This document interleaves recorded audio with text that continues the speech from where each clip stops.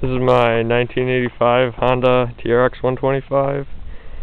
Uh, just took it out, been sitting all night. I'm gonna try cold starting it. It's like about 25 degrees out. Still icicles ha hanging off.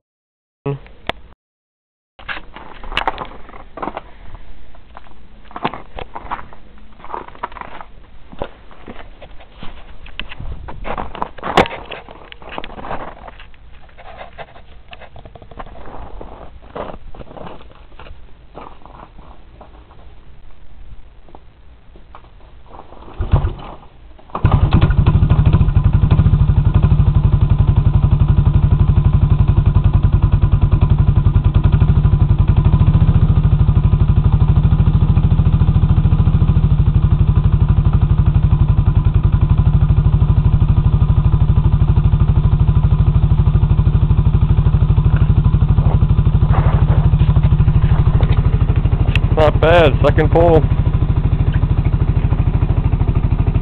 Runs great.